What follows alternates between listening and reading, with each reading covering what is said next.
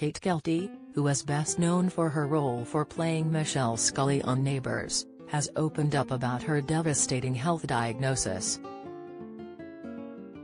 The actress appeared on the Aussie soap between 1999 and 2003, before making a brief return in 2004. Michelle was sister to mainstay Felicity Flick Scully, who was portrayed by Holly Valance.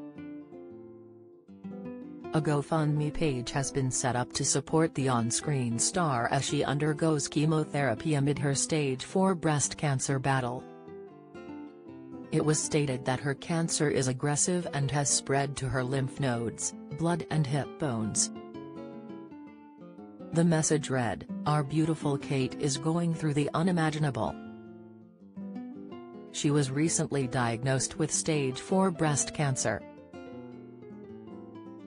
Her cancer is extremely aggressive and it has spread to other parts of her body, including her lymph nodes, blood and hip bones, known as metastatic cancer. This week the fight of her life begins as she starts chemotherapy.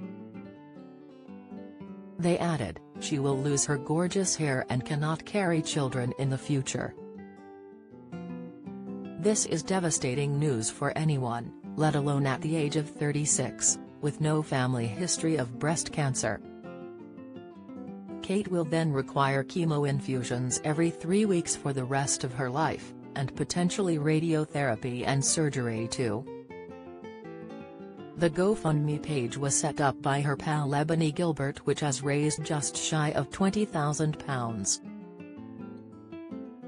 The money will be used to help pay her rent, specialist medical appointments and wig and specialist skin products. She added, Our independent Kate would never ask for help, let alone financial assistance.